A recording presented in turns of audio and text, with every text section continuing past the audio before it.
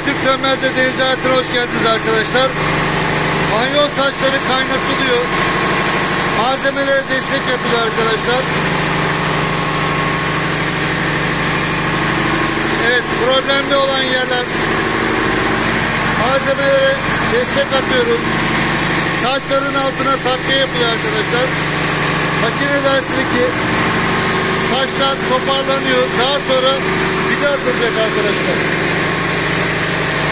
Saçları toparlayacağız. Daha sonra vida atacağız. Size Türk Sanatı Derece devam ediyor. Abone olmayı unutmayın arkadaşlar.